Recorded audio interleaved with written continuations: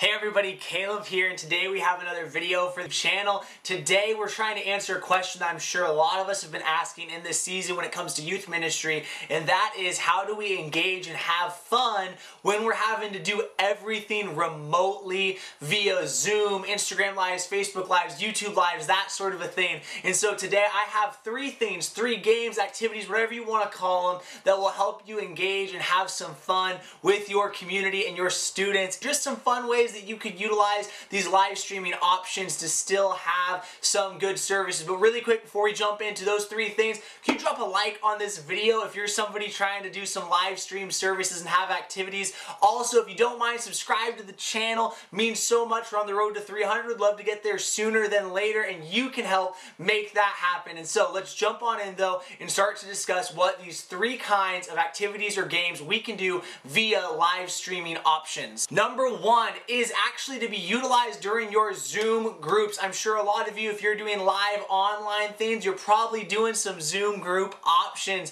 And so the first thing that I want to recommend is doing some Zoom show and tells. Now, this is something I'm stealing from my wife. She's awesome. She leads some college student leaders and something that they've been doing is going and taking time to do show and tells where it might be, hey, you got 20 seconds, grab something out of your room and you just take some time to show and talk about it. It might seem silly. It might seem weird. It might seem awkward, but in a season of doing online everything, Everything we do is different. Everything we do is a little bit weird to the normal. And so doing this is going to create some time for people to share, to engage, and also just get to have some normalcy in getting to talk about and learn about the people they're doing life with. And so number one, do some Zoom group show and tells. Only needs to take about 30 seconds to a minute per person, depending on how long they want to talk, but is a fun way to connect right off the bat. Number two is to do some food drop For the youth ministry that I get to work at, we did these for Easter Sunday. You know what? We were able to go in, we made a YouTube video. We had it where students could either comment on that YouTube video,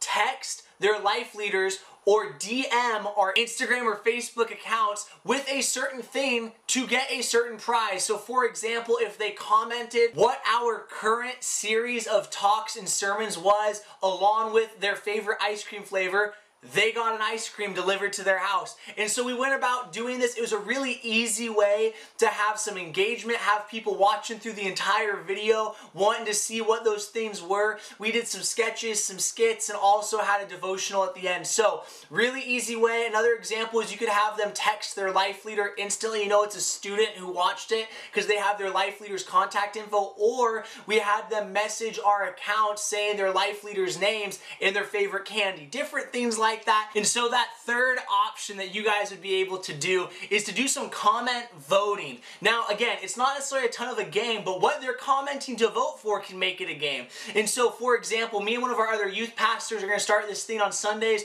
where our students get to vote for what we're having for lunch, but it's not normal things. So, for example, this last Wednesday night, we came up with the idea that we would be doing some devotionals while eating a sandwich. The sandwich will have some peculiar ingredients in it. For example, our students were able to do comment voting within our live stream service on Wednesday night where they were voting for what our main protein in it was. It was like sardines, chicken hearts, or a cow's tongue not normal, but our students then for a minute got to comment as many times as they could comment, counted as a vote, and it ended up determining what we were having. I think we're having cow. And then at the end of the service, we also had another one minute window where they got to comment for what our main condiment or kind of just like thing on the top of it was gonna be. And we did things like horseradish sauce, hot sauce, and apple cider vinegar, I think was the third one. And again, they're commenting to vote what they want to see happen. And then that leads to another stage of engagement on Sunday when they get to watch this gross thing they helped make be consumed by us. So you have it where with that one,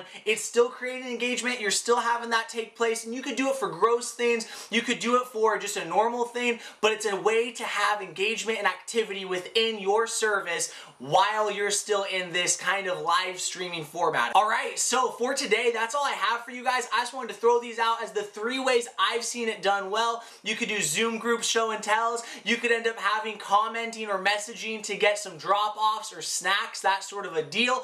Or you could do commenting voting for some kind of youth group decision or torture if you're the youth pastor or youth leader that they're voting to see something happen to.